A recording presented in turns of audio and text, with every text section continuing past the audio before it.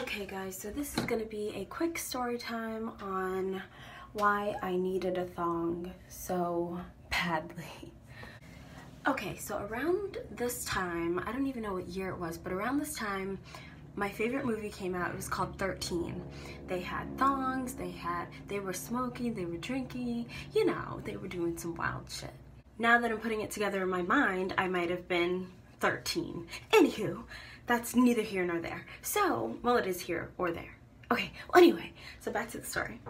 So at this point in my life, I decided that I needed a thong. I didn't care where it came from. I just needed a thong. Weird, but I needed it. It would have been too weird to just go to my mom and ask for a thong. Um, it would have been weird to go to my sisters and ask for one of theirs. It, it just like, I needed a thong. I needed it. So one day we were at the store and I was with my two big sisters and my mother.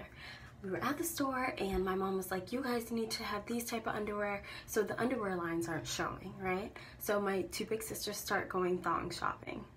They picked out thongs in my mind at this point in time i was like this is my perfect opportunity to start picking out thongs too so i did this is me shopping in the store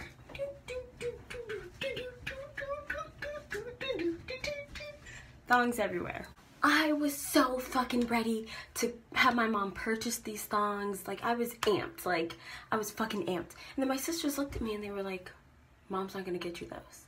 And I was like, wait, what? Like, what? And then, so we get to the register, and my mom's like, whose are these? She picked up all my thongs. Awkward. My sisters were like, those are Tamicka's, right?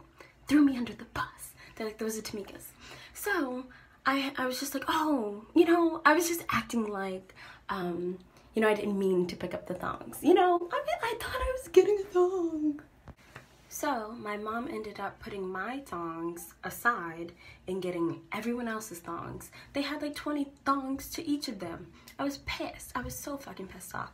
So we get in the car and I was silent the whole ride. I was just so fucking quiet. I was pissed and I was like, you know, when I turn 18, I'm leaving. I'm done with this fucking house. Like, I'm done with you guys. Like, I was pissed. So then I got home and guess what the fuck I did? Guess. I cut up all my underwear. I cut the butt out of all my granny panties and I had the thong that I always wanted.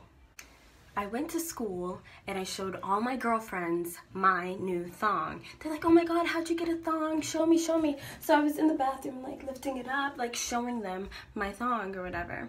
And um, they literally thought it was the coolest thing ever. They're like, oh my god, Tamicka, can you do mine? Can you do mine? Can you do mine? I was like, yeah, like just bring it to my house. I'll cut them up.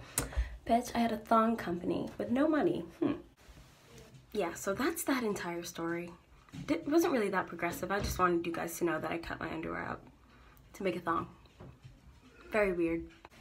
Years later, I bought my own thongs. And then years after that, I stopped wearing underwear completely. I'm a wreck. I'm a wreck. So the moral of this story is if you want something, fucking go and get it. Don't let nobody tell you now. Or make another way so that you can get it. Cut those bitches up. I hope you guys enjoyed this story time. Um, it's a little awkward for me that I cut my underwear. Is that weird? Is that weird to you? it's weird to me. But um, yeah.